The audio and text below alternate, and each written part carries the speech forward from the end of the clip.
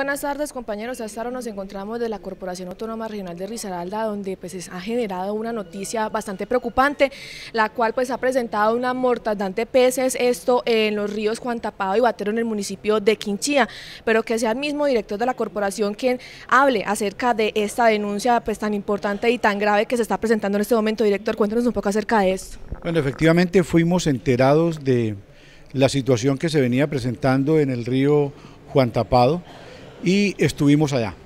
Al verificar la operación de las minas de Corpoare y el Alacrán, encontramos que el manejo de vertimientos estaba inadecuado. Vimos una cantidad importante de peces muertos, eh, ya tomamos las muestras, ya lo estamos trasladando a los laboratorios respectivos para los análisis que nos determinen si la muerte de los peces se produjo por cualquiera de las tres condicionantes, que puede ser hipoxia, falta de oxígeno, envenenamiento por presencia de mercurio o de cianuro. Eh, paramos la operación de esas empresas, empezamos la investigación, la averiguación, el sancionatorio ambiental y vamos a compulsarle copias a la Fiscalía General de la Nación para que determine la culpa y la responsabilidad de los operadores de estas empresas en esos sitios. Director, de pronto, ¿qué va a hacer en este momento si se resulta que las eh, investigaciones dan como resultado que estas empresas son las culpables de esta mortandad de peces?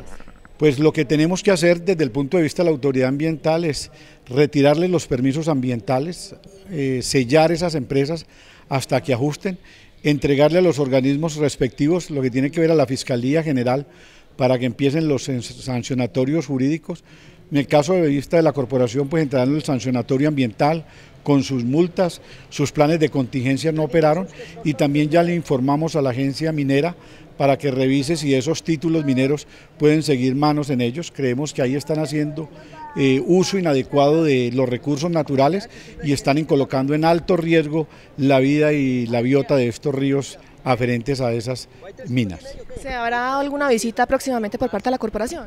En tres días siguientes de haberles indicado el protocolo de cierre de la mina, vamos a ir a verificar que efectivamente se haya hecho eso y vamos a ir acompañados de la Fiscalía General de la Nación.